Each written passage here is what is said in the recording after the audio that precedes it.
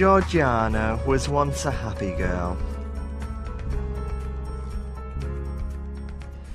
She was a prankster, life of the party, sportsman. She even owned an NSYNC CD and poster.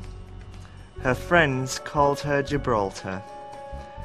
But now, on the eve of her 30th birthday, she considered the notion that she was tragically meant to live, to be, and love alone. Six months ago, Georgiana was focusing on her career as a novelist. After working five years as a mortgage lender, she decided it was time to go back to her roots. She had just survived another cold and vigorous Valentine's Day, or as she referred to it as Black Wednesday. Then one day on the treadmill, she met Bob.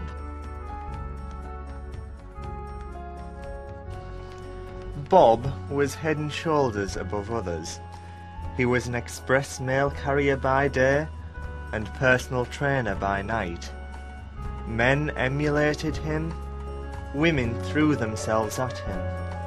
But on this particular day, Bob noticed the unusually focused and sweaty Georgiana.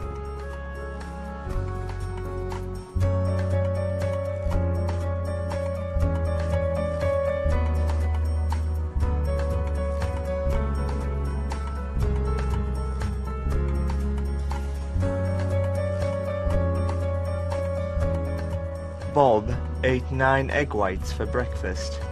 He did sit-ups in the mirror and had a secret addiction to fast food. Georgiana was in lust for him. I mean, she was in love with him. But Bob was a whirlwind. Some days he loved her deeply. Then on other days he wouldn't call her. He would often make plans, then break them.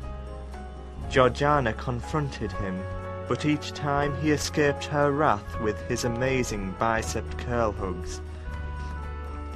After seven walks in the park, four movie dates, sixteen dinners, six church Sundays, and countless workout sessions, Bob arrived at her door on their would have been three month anniversary, and he calmly and steadily broke her heart.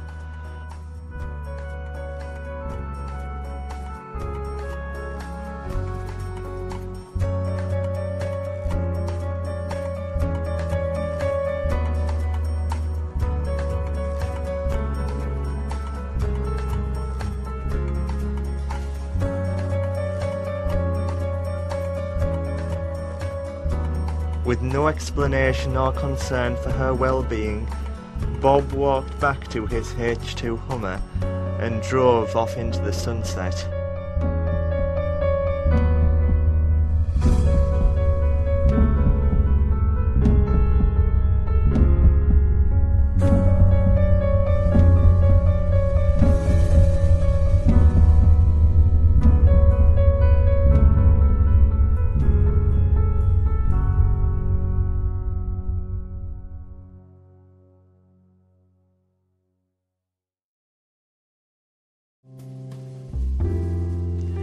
He had broken a bigger sweat lifting an energy drink, or so Georgiana thought. She slowly walked back into her room and stayed there until now.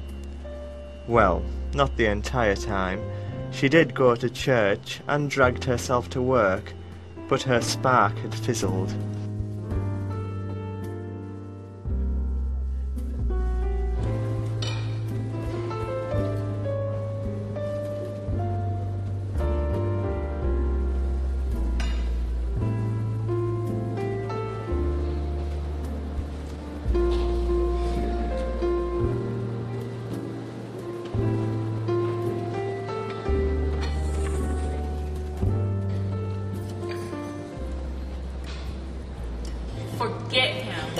work alcoholic punk. You can't be in love with him. You've only dated him for a few months.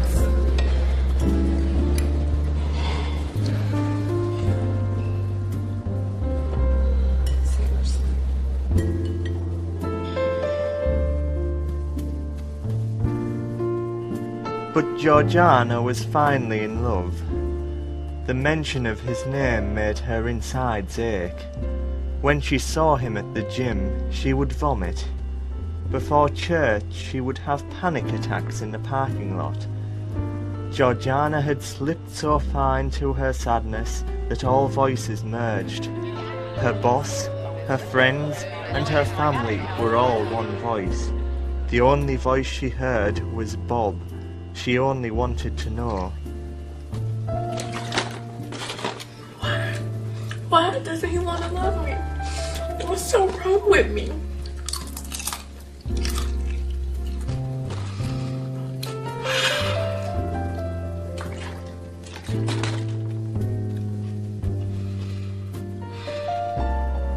The questions never ended.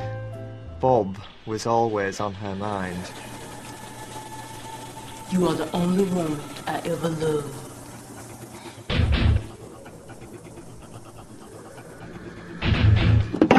Wishy-washy. Unfaithful. But Bob wasn't the only unfaithful one. Georgiana recognized her hairstylist shopping in the store. As she walked towards her, she noticed her other stylist shopping in the opposite end of the store. Georgiana quickly rolled away in the opposite direction in hopes of not being discovered. Her plan of two stylists had been ten months in the making. Deborah was good at maintaining perfect texture and movement, and Lanisha was the best stylist. But her wicked plan had holes. Who trimmed your ends? Georgiana's heart was beating outside of her chest. The stylists were puzzled by her abrupt departure. In a panic to save her hair, Georgiana runs away and accidentally bumps into an attractive man dressed perfectly in red and khaki. She apologizes. The man is Antoine, a master cosmetologist. Georgiana had escaped the danger of losing her stylists, but she couldn't shake the fact that she lost her Bob.